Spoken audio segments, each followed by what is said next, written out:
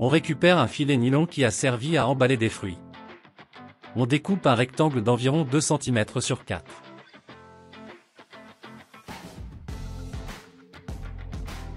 On plie le rectangle en deux puis encore en deux.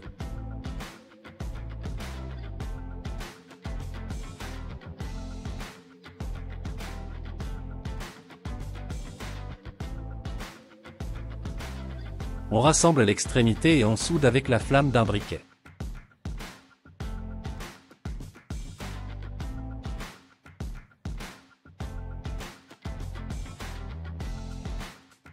On va passer 3 ou 4 fois l'extrémité du bas de ligne dans les mailles du filet et on ligature avec des nœuds simples.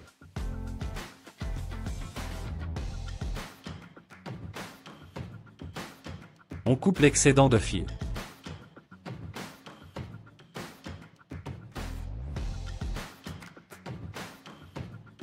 On place le cheveu ainsi réalisé le long d'un hameçon à œillet.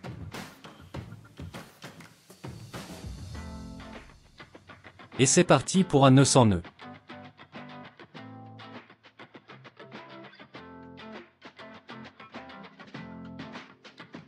La prochaine étape, on enroule le rectangle de mi autour du filet en le serrant fort pour constituer un appât homogène. C'est pas le tout de montrer un montage, encore faut-il prouver que ça marche en action de pêche, donc nous sommes allés au bord de l'étang pour tester.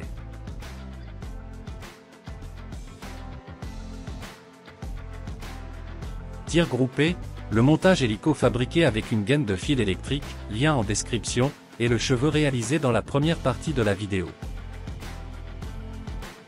On place la mie de pain en serrant fort, pas besoin de lancer très loin, j'ai pu me rendre compte de beaucoup de mouvements en bordure. Premier départ en douceur.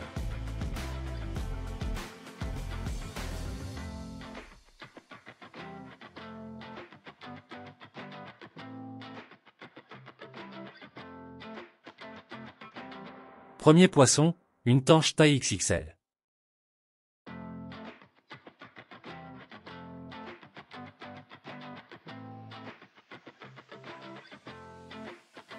Je profite d'une petite pause pour vous montrer le montage de plus près.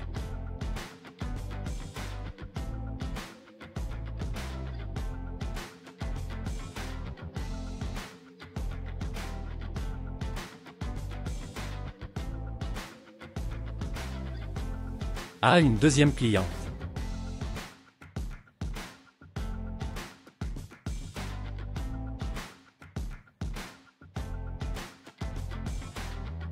Un peu déçu, on a chopé une tanche extra small.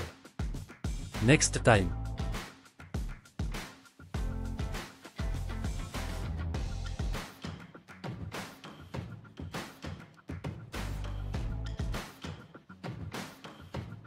Distrait, j'ai loupé le départ mais au bout du fil, une sympathique petite carpe commune.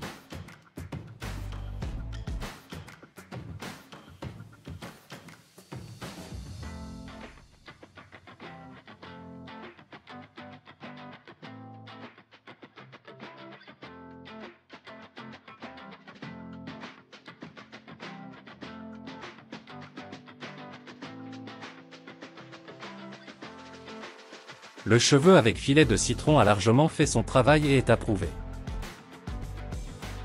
Le montage hélico lui aussi a fait ses preuves. Mais pour qu'il soit encore plus auto-ferrant la prochaine fois, je placerai un 60 grammes. N'hésitez pas à vous abonner.